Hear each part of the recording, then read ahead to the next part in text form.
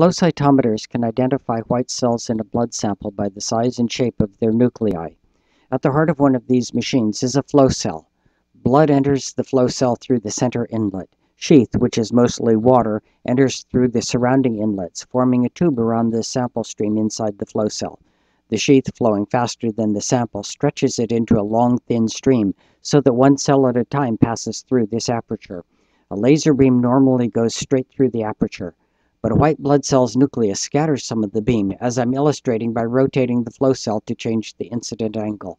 Every cell produces unique scatter, but cells of a particular type are more like each other than like other cell types.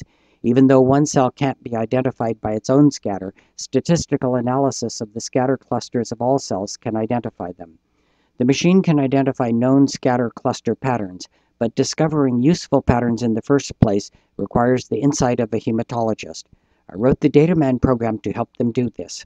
It plots the data from each sample as recorded in a standard file format called FCS.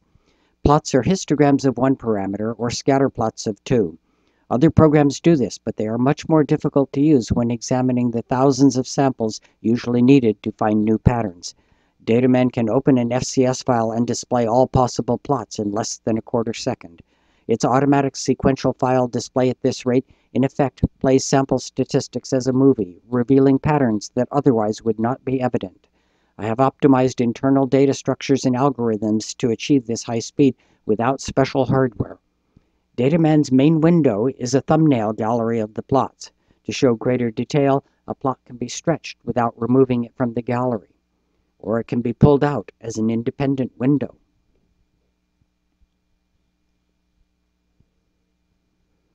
It can be useful to determine where the cells that comprise a cluster in one plot appear in other plots.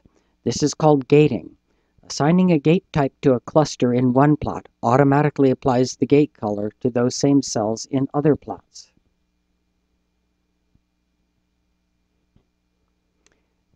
New gate types can be defined at any time and are immediately available for assignment.